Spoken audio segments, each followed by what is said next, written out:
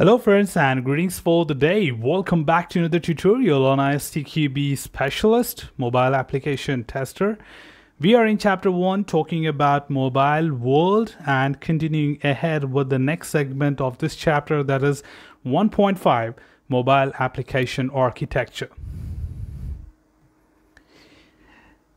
As a part of this particular segment, we'll be understanding more about how this architecture adds more value or has a constraint being added when it comes to mobile application development as well as testing.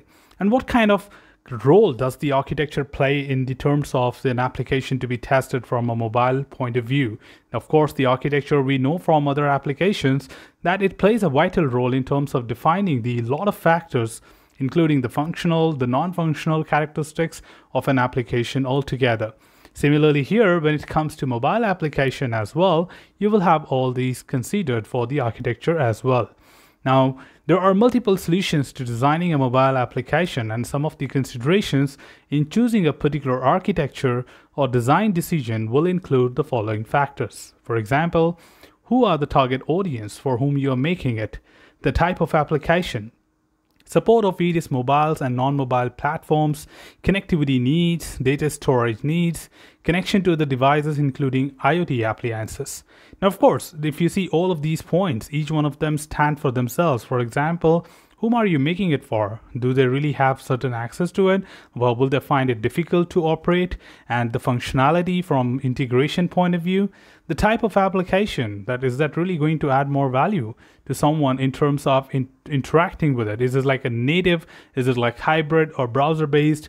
then support various mobile and non-mobile platforms connectivity needs which is again like 2g 3g 4g what sort of connectivity you need and again we'll be talking about all these things in more detail in our upcoming slides Again, architectural decision uh, further includes the client-side architecture such as thin or fat client, server-side architecture such as single or multiple tier or multi-tier architecture, connection types such as Wi-Fi, cellular data, NFC, Bluetooth, and data synchronization methods such as store and forward, push and pull, synchronous and asynchronous communications. So what are these things? Let's understand in a little more detail. When it comes to thick and fat client applications, this may have multiple layer of applications code and may use mobile operating system features. These are typically native or hybrid application. Again, when you talk about the thick or fat client, which generally has multiple layer of the application code, which starts with like in the web services and having a security layer of that, and then you have multiple layer of the web services for different reasons. Could be for the apis calling different structures interacting with the database trying to interact with third-party softwares and many other things.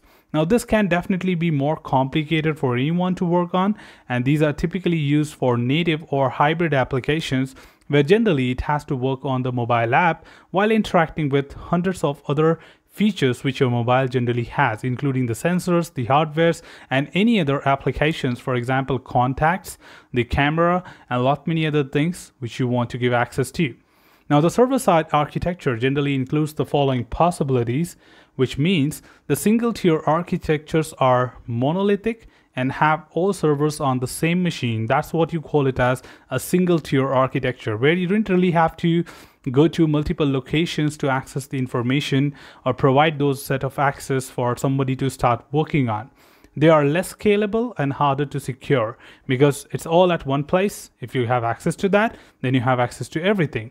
So it's just that like, you know, when you have an account in the bank and you do have access or I have your login credential, then I have access to all your savings, the RDs, the FDs and your saving accounts, everything. It's just not that I can only access one part of it. I can access every part of your bank account, including your cards, which is debit and debit credit cards, which are associated with that bank account. When it comes to multi-tier architectures, they are spread server-side components across multiple units. Now, two-tier architecture in, involves separate web and database servers, whereas three-tier architecture also include an application server. Now, these multiple tier architecture allows separation of responsibilities, provide database specializations, and provide better flexibility, scalability, and security. Just because it is distributed, you can have security layer at multiple points and of course have different points for accessing them so it is more secure but becomes more fatter and difficult to maintain. However, they may be significantly more expensive to develop, manage, and host compared to single tier architectures.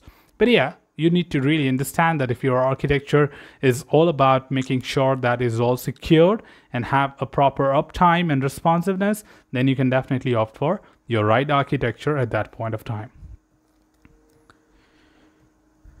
Further to add, when it comes to the connectivity, of course, there are various connection methods available for a mobile device and mobile app. A mobile device might be connected to server via connection types such as a Wi-Fi or cellular data connection such as 2G, 3G, 4G, and 5G. Mobile applications typically operate in one of the following three modes, and they are never connected apps, which are basically working offline and do not need to be connected to internet at any point of time. A simple calculator is an example of such an app which really doesn't need or really doesn't worry if you really have internet connection to it or not. Whereas always connected app requires a permanent network connection during the operation. All mobile web app, uh, applications fall into this category, although some can operate in a limited way when partially connected. Because again, if you talk about games, you can of course play some of the games like Candy Crush uh, being offline, but when you want to avail some of the benefits like boosters and other things, you need actually to be connected to internet for that. Or you want to send lives or collect lives from other people, then you need uh, the interface to have the internet connectivity. And then comes the third category, which is partially connected apps, which require a connection for tasks such as data transfer, but can operate for a long period of time without connection as well. So again, Candy Crush is one of the example for the partially connected, whereas PUBG or other games which are completely on the internet connection to share and work with them, then it really requires you to be connected to the internet all the time to load that. Also to add, when it comes to the synchronous and asynchronous part of it, the synchronization of data between the client and the server can be conducted in following modes. Number one, continuous which is a mode where the data gets transferred as soon as it is submitted, which is consistent, uh, continuous transfer of data and being syncing. For example, if you really want to back up your WhatsApp to one of those clouds, or you want to back up all your email addresses or emails uh, to a particular cloud, or maybe your pictures, maybe your videos, and you sync up to the Google Cloud, then definitely that's called as a synchronous uh, approach, where it is continuous mode and consistently updating as soon as you take a picture. Whereas the other one is store and forward mode is where the data may be stored locally before being transferred, especially when no connectivity is available. Now this is something like your Outlook that you can attach and draft everything and just click on send. If you don't have internet connectivity, the Outbox will retain your mail staying there for some time. The moment you get connected, the mail will be sent automatically. So this is kind of a asynchronous thing. Whereas the data transfer can be performed in the following two approaches which includes synchronous and asynchronous again, which is synchronous data transfer is performed when the calling function waits for the call function to complete before returning. So again, this is an approach where you generally have you know request being sent to the server and uh, the calling function will wait for the called function to complete before returning. So it will just be, you know, having a sequence of thread being performed. The first activity will get completed, then the second activity will push in, and it will be just sequencing in an order like a queue to process it. Whereas asynchronous data transfer is performed when the call server function returns immediately, processes the data in the background, and calls back the calling client function once it completes the task.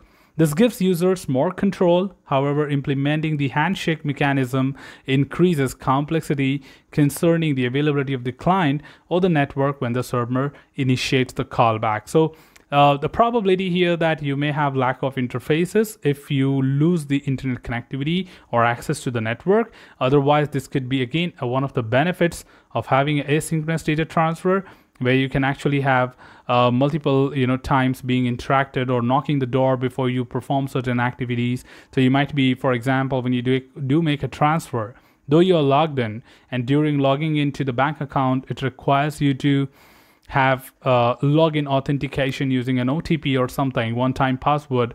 But still, no matter how many times you make a transfer on the same access or same session, it still prompts you every time with a new OTP, which is the one time password to transfer the money. So it, it just goes with that one after the other in a sequential thing to be done.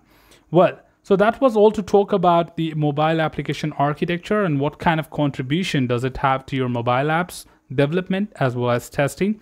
Now, being aware of different architectures will allow you to have the different scenarios to work on such things and come back with your multiple test cases to you know define the quality in the same. So that's all from this particular tutorial team. Should you have anything else, feel free to comment below. I'm always there to address your queries and answer them well. Till then, keep learning, keep exploring, keep understanding the context. Thanks for watching the video team and happy learning.